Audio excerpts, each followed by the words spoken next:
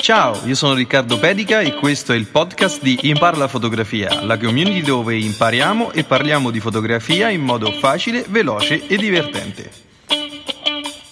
Ciao a tutti amici fotografi e bentornati sul podcast di Impara la fotografia con una puntata speciale dedicata al numero 50 del podcast. Infatti sono già 50 puntate che sono state registrate e che abbiamo condiviso insieme parlando del mondo della fotografia, andando ad analizzare tutti gli aspetti della fotografia da un aspetto un po' più filosofico a quello più eh, legato alle mie esperienze, quindi ai miei errori e anche a tutte quelle discussioni sui consigli per diventare fotografi, come gli dico io, consapevoli. Bene, ringrazio quindi tutti quelli che stanno ascoltandomi, che mi ascolteranno e che mi hanno accompagnato in queste prime 50 puntate del progetto. Eh, non me lo sarei mai aspettato di farne 50 e penso che siamo solo all'inizio perché gli argomenti sono tantissimi e possiamo continuare a parlare di fotografia fino a che non ne abbiamo veramente eh, troppe piene le scatole, possiamo dire. Bene, oggi vorrei parlarvi di un progetto che sto creando e vorrei sapere se vi piace, se siete, eh, se, se, se siete interessati. Come sapete oh, sto sviluppando una teoria che si chiama teoria del fotografo consapevole. Che cosa è? Quando noi parliamo, quando noi fotografiamo, possiamo avere tre livelli differenti di consapevolezza nella fotografia. E quindi ho diviso il fotografo in fotografo istintivo, in fotografo tecnico e fotografo consapevole. Allora, il fotografo istintivo è quel fotografo che fotografa praticamente distinto, ama la fotografia, ma eh, fotografa, ma non, ha, non, conosce la tecnica. Eh, mentre invece il fotografo tecnico è quello che fotografa tecnicamente. Che significa tecnicamente? Conosce tutte le, uh, conosce, ha tutte le conoscenze tecniche per fare una buona fotografia e eh, cerca e sviluppa le sue fotografie in base alle conoscenze tecniche. Il fotografo consapevole, infine, l'ultimo, è quello che fotografa per il piacere di se stesso. Eh, fotografa consapevolmente, sa che cosa vuole, sa che cosa gli fa piacere e cerca solo il piacere personale. I problemi del fotografo istintivo sono che vorrebbe migliorare, ma ha paura, ha paura di confrontarsi, ha paura di impegnarsi, ha paura di mettersi in gioco per diventare migliore. Sembra un po' una follia, ma molti di noi siamo fotografi istintivi e tutti, in tutti i livelli. Eh, il fotografo tecnico invece ha una eh, consapevolezza di, delle sue capacità tecniche, ma ancora non è sicuro della sua espressione creativa. Quindi fotografa secondo lo schema degli altri, secondo quello che viene, quello che va di moda, quello che crea eh, più consenso su internet o nei posti dove condivide le cose e prova piacere nell'andare a eh, essere riconosciuto come fotografo. Il terzo livello, il livello quello di invece fotografo consapevole, è il massimo livello della consapevolezza e è quello nel quale invece il fotografo fotografa per se stesso, prova piacere nell'azione di fotografare e nell'azione e nel risultato che riceve. Non importa se non è eh, se non è apprezzato dagli altri, non importa se non segue i canoni normali della fotografia, fondamentalmente prova piacere semplicemente facendo quello che gli va e gli piace e in questo modo sviluppa la propria espressione artistica.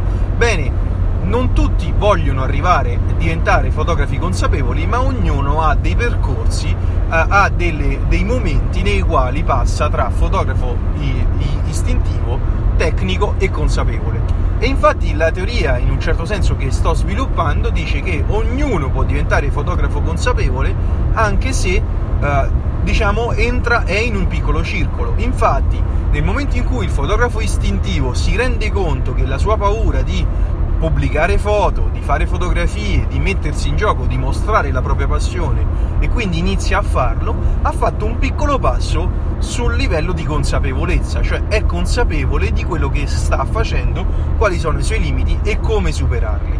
Quindi il viaggio del fotografo consapevole è un viaggio che in un certo senso è, può essere fatto da tutti in tutti i livelli.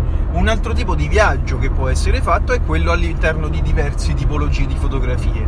La fotografia infatti può essere divisa in tanti diversi aspetti. Possiamo amare la macrofotografia, possiamo amare la fotografia di paesaggio, possiamo amare la fotografia di, di notte o con lunga esposizione ed ovviamente non siamo esperti in ogni campo. Quindi essere, fare il viaggio del fotografo consapevole significa andare a capire quali sono i nostri limiti, significa andare a impegnarsi per superare e per capire cosa ci blocca, cosa ci manca, cosa quando vogliamo migliorare e come vogliamo migliorare. E quindi possiamo immaginare il viaggio del fotografo consapevole con diversi cicli di fotografia di, eh, di livelli di apprendimento possiamo quindi iniziare in un modo essere dei fotografi tecnici a livello macrofotografico, ma ad esempio essere dei fotografi eh, istintivi nella fotografia di paesaggio. E quindi che cosa facciamo? Andiamo a creare, andiamo a studiare con consapevolezza quali sono tutte quelle cose che, tutte quelle emozioni che ci passano, tutte uh, le, le, le informazioni e le sensazioni che abbiamo quando fotografiamo, quando ci approcciamo ad una cosa differente, per andare a migliorare la nostra consapevolezza su quello che facciamo, uh, su quando scattiamo. E quindi per questo, eh, durante il processo di elaborazione di questa teoria, ho creato una cosa che si chiama il viaggio, il diario del fotografo consapevole. E che cosa fa questo diario? Vi aiuta ed aiuta qualsiasi persona a capire quali sono le proprie emozioni, quali sono i propri dubbi e soprattutto quali, quali sono le cose che gli mancano per diventare consapevoli in un determinato aspetto della nostra vita fotografica. E come facciamo? Faccia, il diario fotografico è formato da differenti eh, blocchi di informazioni dove iniziamo andando ad analizzare tutte quelle che sono le nostre idee su determinati progetti e andiamo a definire un obiettivo. Ad esempio possiamo dire vorrei diventare, vorrei provare a fare un progetto sulla macrofotografia. Le prime cose sono cosa voglio fare, quali sono i miei dubbi. Ad esempio potremmo dire eh, sono, voglio fare la macrofotografia ma non ho gli obiettivi necessari voglio fare la macrofotografia ma non ho eh, la conoscenza tecnica necessaria, non ho il tempo, speriamo di riuscire. Scriviamo tutti questi dubbi perché sappiamo poi che durante il percorso, e questo ve lo, eh, ve lo consiglio io, ve lo dico io, andremo a cancellare uno per uno tutti questi dubbi perché l'unica cosa che ci separa dalla vera, dal, da diventare fotografo istintivo al fotografo consapevole è l'impegno. E quindi eh, solo con, e quando, già semplicemente con l'impegno possiamo andare a risolvere tanti di quei dubbi che abbiamo all'inizio. La seconda parte ci fa fare una lista di idee, quindi immaginiamo vorrei fotografare solo libellule, vorrei fotografare solo fiori di campo, vorrei fotografare fiori al tramonto ed andiamo ad analizzare queste idee per cercare la più semplice da sviluppare ed iniziare il nostro viaggio del fotografo consapevole. Uh, continuando in questo modo andiamo a trasformare l'idea in progetto e quindi andiamo a scrivere sul nostro diario tutte quelle che sono le idee per fare il progetto. Quindi il mio progetto sarà 100 libellule in, uh, in 30 giorni. Significa che dovrò prepararmi con e scriverò sul progetto uh, il perché voglio farlo. Mi piacciono moltissimo le libellule e mi danno una sensazione di libertà. Ehm, una, possiamo andare a dire possiamo andare a dire quelli che sono i mezzi che eh, ci serviranno, mi servirà un cavalletto, mi servirà una macchina fotografica, un obiettivo speciale o magari se non lo ho lo fare, me lo posso far prestare o uh, andarlo a noleggiare se proprio voglio fare una cosa speciale e quindi trasformiamo le idee dalle idee ai progetti. Quando andiamo a lavorare sui progetti siamo già ad uno stato molto avanzato perché abbiamo superato già i nostri primi blocchi sulle idee che noi vogliamo avere nel nostro progetto e andiamo a creare quindi un calendario. Ci mettiamo la data, diciamo sabato prossimo uscirò, andrò a farmi una passeggiata e proverò a fotografare libellule, così andiamo a dare un obiettivo al nostro progetto dicendo che sabato vado a fare questo tipo di fotografia e poi possiamo iniziare a uh, effettivamente fotografare. E qui entra in gioco il pieno del diario del fotografo, uh, del fotografo consapevole.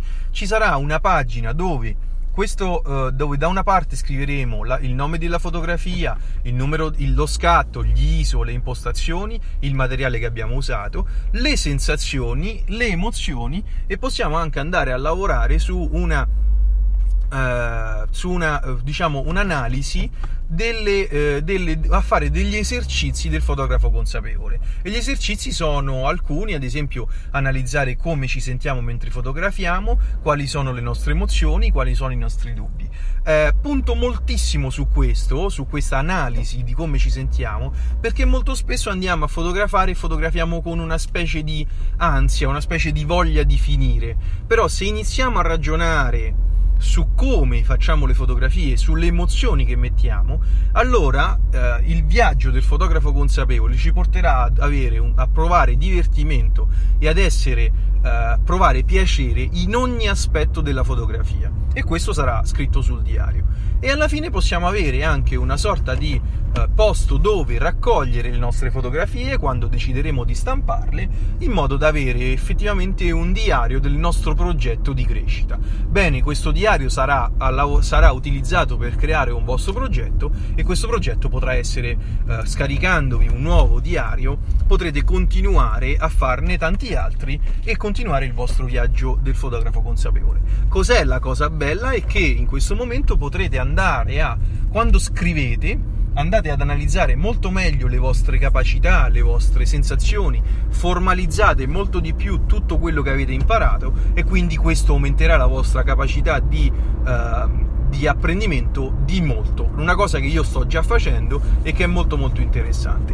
Questo è un progetto che sta sviluppandosi, quindi non è ancora pronto però faccio questo podcast perché penso che sia una, uh, una, sorta di riassunto del percorso che è stato fatto in queste 50 puntate e queste 50 puntate mi hanno dato voglia e mi hanno dato gli stimoli, lo, la, lo, la spinta per scrivere questo diario. Come facciamo quindi per avere accesso? Come fate voi per avere accesso a questo diario se siete interessati? Potete diventare Patreon eh, quindi potete diventare sostenitori e produttori del podcast e del progetto Impara la fotografia con una cifra qualsiasi che va da 1 a 5 a 10 a 15 euro al mese. In questo modo sostenete il podcast, continuate a dare una sorta di sostegno e di produzione a questa che è eh, idea, a questo progetto e potrete ricevere come bonus speciale il file PDF dove potrete iniziare a lavorare sul progetto fotografico.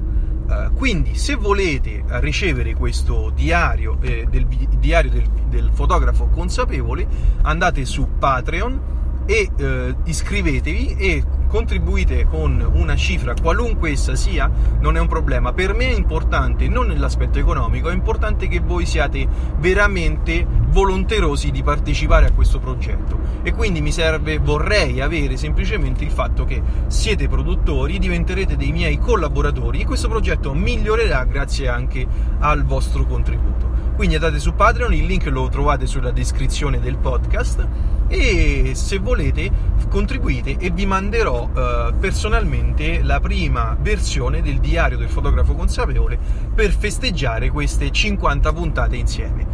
Bene, per oggi è tutto, vi ringrazio e ci sentiamo alla prossima puntata di Impara la fotografia.